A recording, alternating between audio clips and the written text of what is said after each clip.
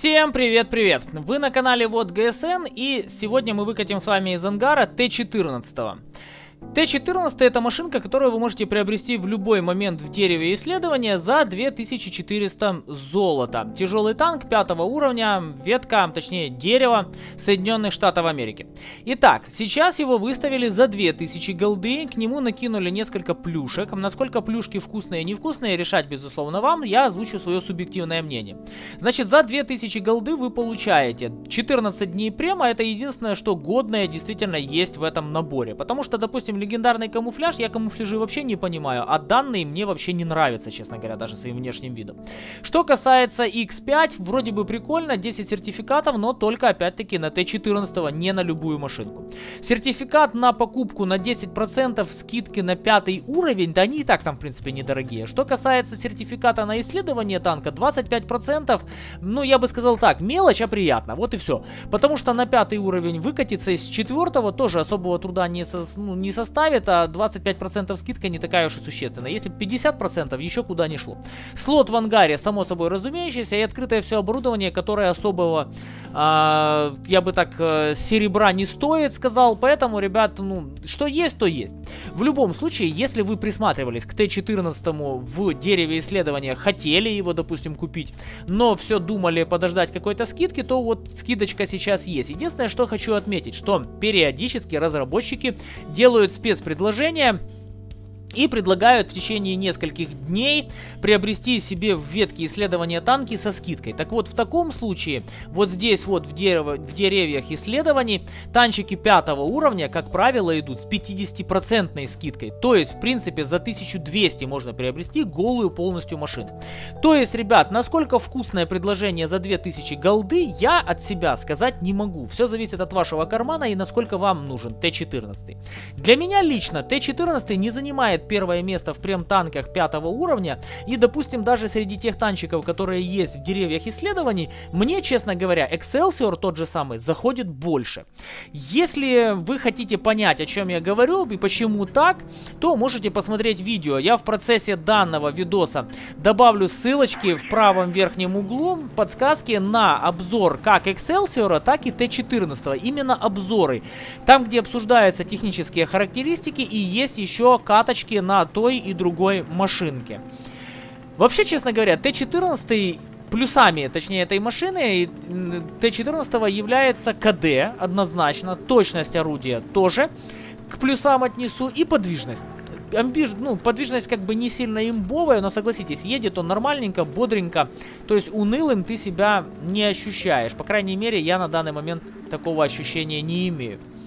Что же касается живучести машины, я бы сказал, что машина крайне неживучая. То есть, если вы оголяетесь, да, то есть полностью вылазите против противника, танковать вам особо нечем будет. Вас будут разбирать. Особенно будут разбирать те ребята, которые уровнем повыше играют. Поэтому, ребятки, рассчитывайте на то, что вам необходимо работать постоянно от каких-то преград. В идеале вам необходимо отрабатывать вашу машину исключительно от башни, потому что башня, она еще и хоть как-то там, ну, то есть рикошетит, да, от нее что-то. А что касается вашей туши, то поверьте, ну, туша абсолютно как бы не, не сильно отличающаяся броней, хотя по внешнему виду должна быть противоположная реакция на снаряды противников. Так, ну что, попытаемся кинуть в Игорька, ну вот, пожалуйста, не пробили. Буквально вот чуть-чуть нам не хватило. И такое, честно говоря, встречается довольно часто на данной машине. Мэджай. Ну, как видите, точность орудия, это то, что я говорил. Точность орудия и КД это безусловные плюсы данного аппарата. Но, блин, на одной-то точности и на КД особо не уедешь. Поэтому и говорю, что играть необходимо будет вам осторожно, если вы эту машину себе возьмете. Ну а от себя лично добавлю, что какого-то веселого геймплея на данной машине я бы вам не рекомендовал ожидать, потому что если вы будете ждать веселого геймплея, а на выхлопе получится то, что получится по факту, вы будете очень сильно расстроены. Вы получите абсолютно не то, чего вы ожидали. Ну и вот то, что я говорил, сейчас я оголился перед противниками, к моему глубочайшему сожалению. И теперь, получается, я отправляюсь в ангар. То есть, как только вы сближаетесь с соперниками, как только вы пытаетесь вести себя как нормальная породистая ТТшка в этой игре, вас начинают безбожно, просто-таки безбожно разбирать, и вы ни для кого не являетесь, ну, прям страшным врагом. Вас просто воспринимают как обычный медленно передвигающийся мало бронированный СТ, который можно разобрать убрать, и в принципе их за это никто не накажет. И даже, даже ваша КД на данном танке абсолютно вас ну, не спасет ну, ни от кого. Вот просто ни от кого, будьте к этому готовы. Я не знаю, может в ваших руках будет отыгрываться как-то по-другому, в моих играется именно так. 844 единицы урона. По результатам фарма серебра, с учетом прем-аккаунта 23 870, грубо говоря. Ну а без учета према было бы 15 300 неполных.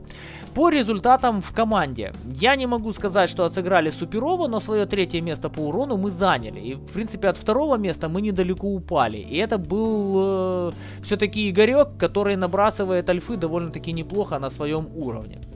Поэтому, ребятки, сложно сказать, насколько эта машина, ну, действительно подойдет каждому, каждому игроку. Однозначно, эта машина не подойдет новичку. Почему не подойдет? Потому что новичку необходим аппарат, который будет живучий и который будет прощать ошибки. Чем больше ошибок техника прощает новичку, тем, соответственно, легче новичку играется, и тем больше эта техника новичку подходит. Т-14, он практически не прощает никаких ошибок. То есть, как только вы, допустим, там, упоролись и вылезли на соперников, вы в ангаре. Как только заехали к вам в борт, вы в ангаре. Как только, не дай бог, вам заехали в корму, вы даже не успеете сказать фразу «я в ангаре», как уже будете находиться там. Так, не знаю, честно говоря, что в этом бою делать. Э, едет туда Самуэрте, едет ПЗшка. Я не хочу выезжать реально самостоятельно куда-то. Я просто понимаю, что сам я не выдержу, мне надо где-то находиться на каком-то расстоянии. И это меня лично вымораживает немножко.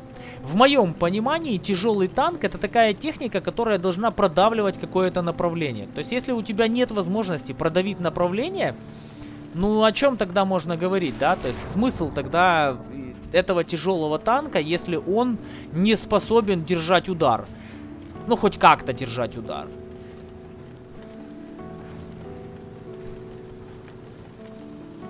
Так, ну что, попытаемся заехать как-то, не знаю, сбоку, что ли.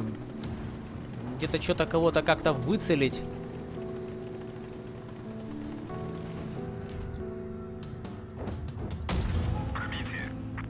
Отходим назад. Ну, видите, то есть тут даже, даже вроде бы должна была как-то чуть-чуть сработать приведенка, но эта приведенка не сработала абсолютно. Сейчас попробую еще раз. Но это я здесь отхватил в бочинку, я хотел просто от кошмара попытаться рамбануть. Но больше повезло, что кошмар просто в меня не попал, чем то, что я бы рамбанул хоть что-либо. Ну вот и что мне делать? Это пятый уровень, это кошмар, и я не могу в него прицелиться. То есть, ну, он весь красный для меня.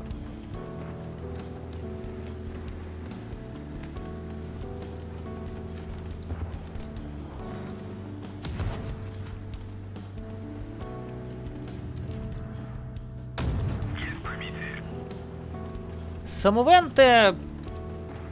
Эх, братка, зачем ты со мной это все делаешь? Ну давай разбирайте его хоть как-то помогайте, что ли. Ну вот пробивает он меня, пробивает, и, и что делать?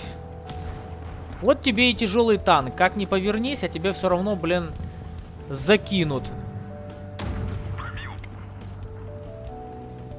Может на КД сейчас хотя бы получится как-то вытянуть? Ну нет, скрылся.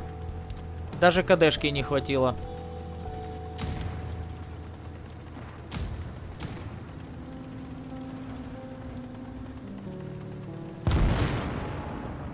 Так, ну вот этого товарища я однозначно заберу. Здесь как бы вопросов нет. Но вот теперь обратите внимание, четверка, безусловно, не должна меня пробивать.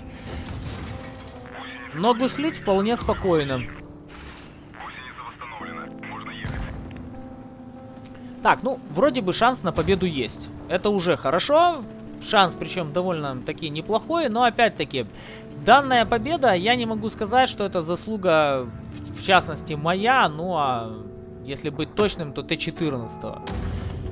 Абсолютно не его заслуга, я уверен, что для победы мы не сделали практически ничего, да и тяжело, честно говоря, на нем что-то сделать против кого бы ты ни поехал, тебя все равно будут разбирать. То есть, когда тебя на ТТшке разбирают СТ абсолютно без печали, ты чувствуешь себя в боях каким-то ущербным. То есть, как видите, он даже в маске орудия, и то есть отверстие. И на передке бронелиста тоже есть. Ну, получается, что бьют его беднягу, куда только могут попасть. Ну, не знаю, ребят. Мне, честно говоря, Т-14 не сильно заходит. Итак, 654 единицы урона, один уничтоженный товарищ. По результатам фарма серебра мы с вами получаем 29 косарей с учетом према и 19 без учета премиум аккаунта. Это с учетом того, что мы получили знак классности третьей степени. Почему за такой пустяковый бой знак классности третьей степени? Да потому что Т-14 не пользуется популярностью в рандоме. Соответственно, его мало катают и на нем планка на знаки классности, она не поднята так, чтобы их невозможно было достичь. Поэтому, ребят, если вы, допустим, в э, ивенточке, ивенте, простите, который идет сейчас, хотите получать мастеров, э, допустим, там, или получать знаки классности налегке, пожалуйста, Т-14 однозначно для вас.